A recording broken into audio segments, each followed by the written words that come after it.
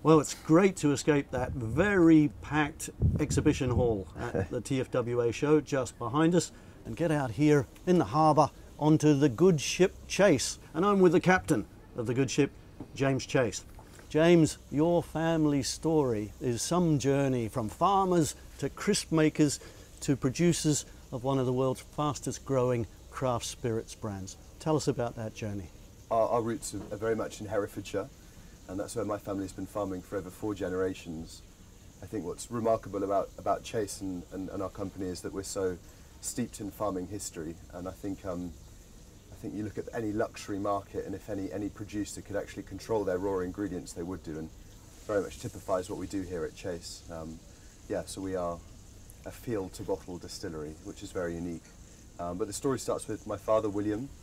Uh, some or most would say he's a, he's a maverick potato farmer, uh, which is very true. Um, but he, uh, he, he's very passionate about potatoes. And He always says they've made him laugh and they've made him cry, but um, hopefully they'll, uh, they'll make him laugh for a few more years to come.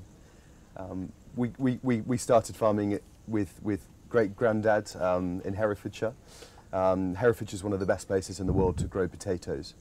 Um, and, and we really struggled, I think, as a family in, in the 90s.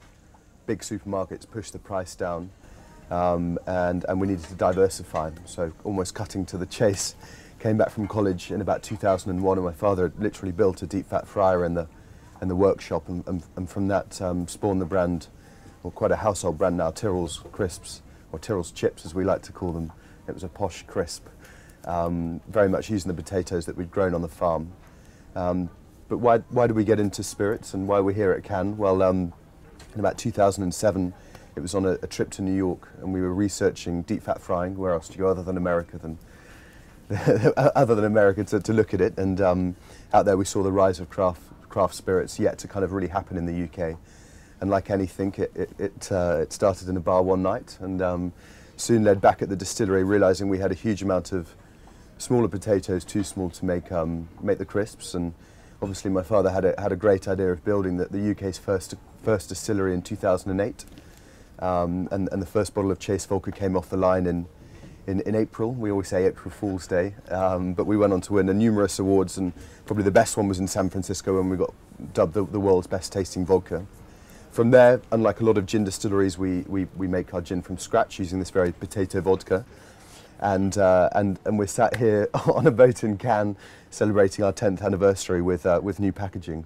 There were some other things in between that, but um, I'll keep it short. well, very interesting journey. And of course, you, you started with vodka, as you said, which is the natural affiliation from the potato. Yep. When you went into gin, was the whole craft gin thing already starting to burgeon worldwide, or were you slightly ahead of the curve? No, even if you look back to 2008, 2009, there was still a handful of brands on the market, you know, of which were either owned by big multinationals or some very few made made in big industrial distilleries. Um, I have a huge passion for gin, and I love gin from all all places. But but really, the gin revolution has kind of really gathered a pace in just the last five years. I think I think in the UK last year, over 200 brands were released and recognised. So the whole market has gone gin mad. But um, yeah, it's, uh, it certainly has, has evolved. Does that excite you or worry you that there's just so much competition out there on the market? Not just the big boys, of course, who you took on very successfully, but now so many newcomers. I think um, I think if you're passionate about it and believe in something, it will it will happen. But um, but I, yeah, there is there is there is a huge amount of competition. Um, I think mainly because it's so easy to get gin produced. You know, a lot of these producers are simply buying in a spirit and redistilling or or getting somebody else to make it for them. Um, but but as uh, of Chase, I think we've really started to. I mean, our mission was to was to get people as interested in craft spirits and field to bottle spirits as we are, me and Dad are, and. Um, I, I, really think people now are, are, looking a bit more behind just a fancy bottle and actually understanding where that spirit is from.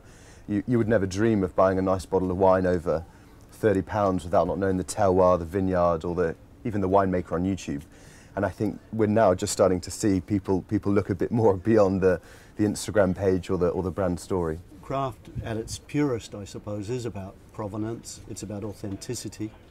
You've certainly got those by the spadeful, as it were. Uh, yeah, uh, absolutely. I, I, think we we can't take all the credit. I think at the end of the day, people buy off people, and I think you can you can generally have the best product in the world. But I really do say it's probably down to a lot of the, the team that we have at Chase. You know, fighting against the billion dollar budgets that the big guys have.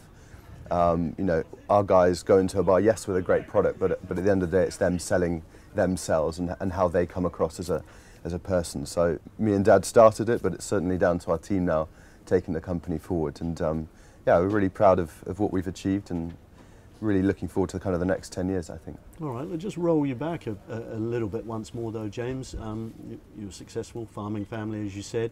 Then yep. you took on the big boys in the, in the very different world of, yep. of potato crisps or chips yeah. um, and did spectacularly well, spectacularly so. Yep. In terms of what you've done with spirits and your brand success story with Tyrrell's, is there a lot of common ground?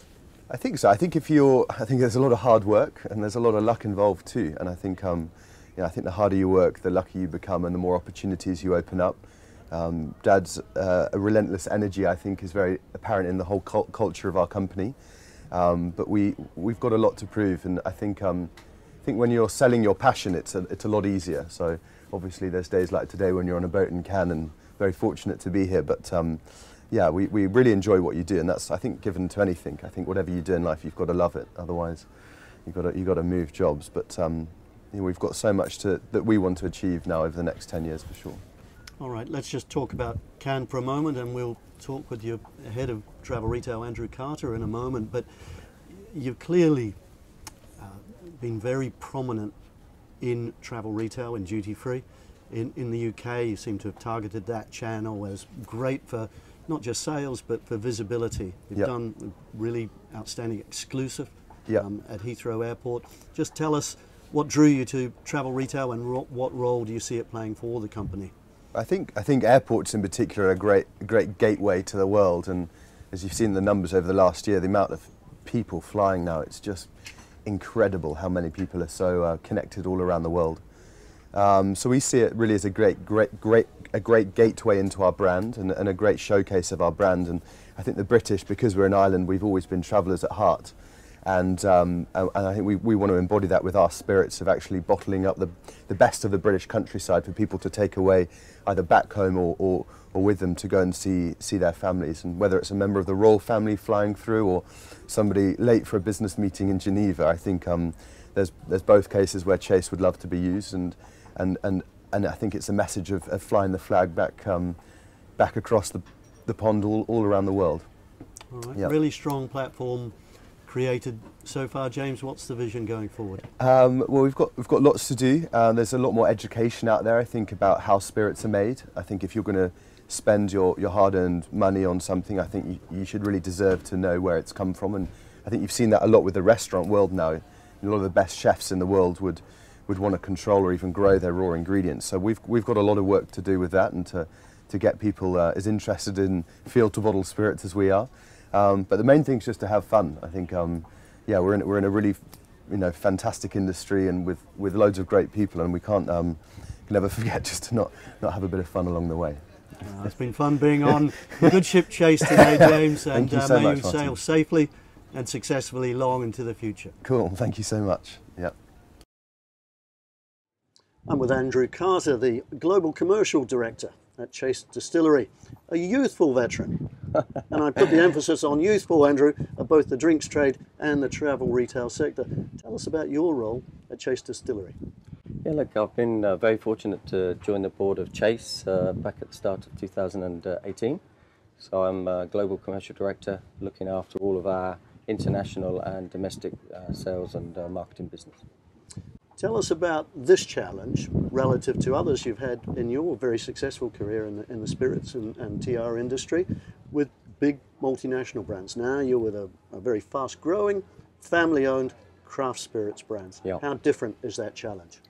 Yeah, look, I, have been very, very lucky to work for some fantastic global brands like uh, Bombay Sapphire and, uh, and Penfolds, but uh, for me, the, the absolute joy, and it's a real joy to, to be working for a small entrepreneurial business, is that uh, I'm working with a great team of people at Chase Distillery who are really challenging the norm in terms of uh, how we produce spirits, uh, the full transparency from the moment we plant the potato in the field all the way through to making the Chase vodka into our Chase gin. And uh, with that comes a very, very different culture. Um, when you're the small guy, um, you have to fight a lot harder to get simple things done, like a share of mind and a meeting. But uh, I'm working with a great team, and uh, I think we're off to a very, very good start in the world of travel retail. Yeah, and part of that very good start has obviously been the travel retail channel. You put a lot of focus on that. Speaking Yeah. to James Chase earlier on, he, he said that right from early days, travel retail had been seen as, as very key to growing the visibility of, of the brand. How do you see the channel, having been a, a veteran of it, as I said, for, for many years? No, I've um, this is my 15th year at uh, Cannes, and uh, obviously uh, you've probably done about double that, Martin. But uh, I think uh, you know everyone understands the importance of what is the sixth continent, and uh, in terms of the travelling through airports, whether you're on a cruise or whether you're on an airline, it's a great shop window for, for premium brands. And uh, you know we're looking to establish GB not just in our homeland, but to take J- GB gin and our gin flavours into the rest of the world. And therefore, the natural gateway, the natural shop window is, uh, is global travel retail. All right, not just premium brands either, craft brands. Now that was a that was a term we didn't really even hear of in Yeah. travel retail as recently as I don't know five, six, seven years ago, and now it's all the rage. What to you really constitutes a craft brand, and why does why does Chase fit that definition? And look, I think it's a really good question. I actually think craft is slightly becoming overused, but you, you go back, we celebrate 10 years this year, it's our, our 10th anniversary. And uh, when William Chase founded the Chase brand back in 2008, he was truly a pioneer. He was a pioneer of the craft spirit movement. And for me, that's being able to trans, you know, transparently see everything from when you plant your ingredients in the ground to ultimately when they, they end up as a, as a great drink on a bar. And that's the joy of working for a small, small company. So you know we have the potatoes, we grow the we grow the potatoes, we take the potatoes, we make the base Chase vodka spirit out of that, and then actually we use that Chase vodka to make GB. It's a little known fact that most gins or all gins are, are made from vodka. They're made from a neutral spirit, and uh, yeah, I think in terms of that craft, that level of authenticity, you've got to be able to trace each step of the journey. And uh, as a small company, that's absolutely key to us. Yeah, you've certainly led the charge among craft gins, for example, in, in the UK. As we talked to James about earlier, though, there's a plethora of newcomers in the market. It, it, it must be daunting on the one hand, but also satisfying in that there is such momentum behind the category. No, it is. It's absolutely extraordinary. There- There's what 300 odd new gin distilleries. It's probably gone up another 10 since uh, yesterday. Uh, you see great examples of brands that also have done a great job, like Sipsmith, that then have been acquired by, by bigger companies. But uh, from our perspective, we remain very, very true to our family roots. Uh, we're very focused on now growing globally. Uh, we're in over 40 markets from a domestic point of view, and therefore, whilst our travel retail strategy has been very focused around World Duty Free Group and has been very focused around our UK customers, we're now looking to expand out. And uh, a great example of that would be uh, with Dubai Duty Free, where we're working very closely across uh, the UAE airports. All right, what's the future look like for Chase? Uh, well, I think first of all, we're very focused on our core uh, vodka and uh, Chase GB gin products. Um, that's the heart of our brand, and we really want consumers to buy into that brand. That's where we're looking to create brand desire. Uh, but obviously, the market has moved very rapidly into flavours, particularly in the world of uh, flavoured gin. And uh, so we've got a fantastic range of flavours uh, our pink grapefruit and pomelo. We also have our Seville marmalade and orange, and then we have our new rhubarb and Bramley apple. And we're like like we've done with our core GB gin, we're taking the flavour opportunity, but we're really making sure that it's fully transparent where we actually get our flavours from, how we make our juices, how we actually make super premium flavoured gins. Well, talking about that all and looking at it all, Andrew, makes me feel rather thirsty. It is lunchtime or almost lunchtime. Yeah. I think we should close this moment with a little drink. What are we drinking, Andrew? We are drinking a Chase, Chase uh, GB gin and tonic, always with our perfect serve, which is a slice of ginger. Well, here's to the perfect serve. Here's to Chase Distillery. Good Cheers. health and to the next 20 years of Cannes. Thanks.